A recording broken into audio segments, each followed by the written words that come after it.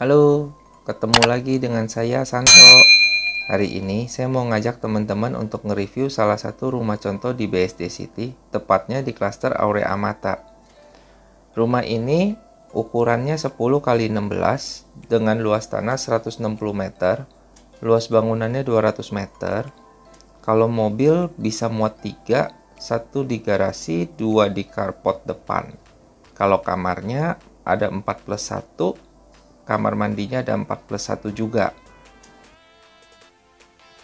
Ini ada area teras yang cukup besar buat terima tamu yang gak terlalu kita kenal atau dekat.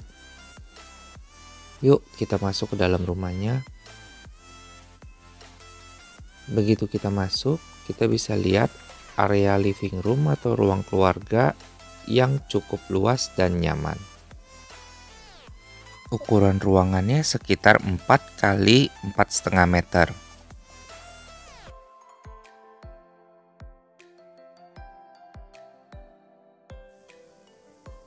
Ini ada toilet di lantai satu yang bisa digunakan buat tamu. Ukurannya sekitar 1,7 kali 2,25 meter.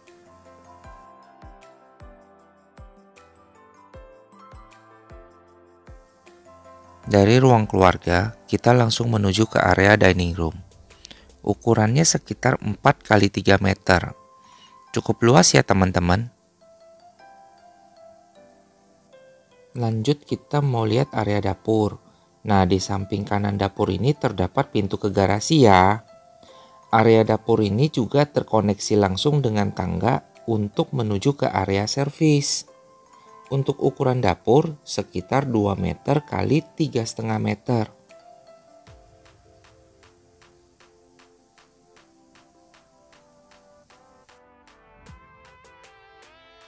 Nah, ini kamar tidur utama di lantai satu. Ukuran kamar tidurnya include kamar mandinya sekitar 5,3 kali 3 meter. Kamarnya cukup gede ya teman-teman. Cocok banget nih buat orang tua yang lagi nginep atau orang tua yang tinggal bareng sama kita. Ini untuk kamar mandinya, ukurannya 2,15 kali 1,8 meter. Lengkap dengan wastafel, kloset duduk, dan juga shower. Sekarang kita ke lantai 2-nya. Begitu sampai di lantai 2, ada area ruang keluarga yang cukup luas. Atau bisa juga ini digunakan untuk ruang kerja atau ruang belajar untuk anak-anak. Ukurannya sekitar 3,4 kali 4 meter. Sekarang kita masuk ke kamar tidur anak yang pertama. Ukurannya cukup luas ya teman-teman, sekitar 3,4 kali 3 meter.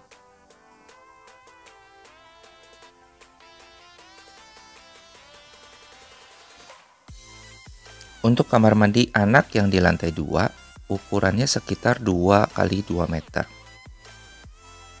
Sekarang kita menuju ke kamar tidur anak yang kedua. Untuk di show unit, ruangan ini digunakan sebagai ruang kerja. Ukurannya sekitar 3,9 kali 3 meter. Nah, ini kamar tidur terakhir yang ada di lantai 2, yaitu kamar tidur utama atau master bedroom. Ukurannya sekitar 3,4 kali 5 meter, belum termasuk area walk-in closet, kamar mandi, dan balkon.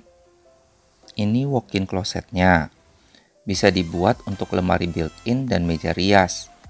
Ukurannya sekitar 2,2 kali 4 meter. Cukup luas ya teman-teman. Dan yang terakhir, ini adalah kamar mandi utamanya. Ukurannya sekitar 1,7 meter kali 2,75 meter.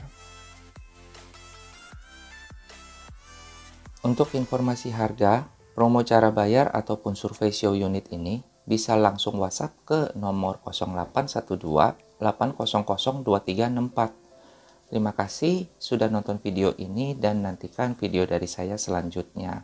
Bye bye.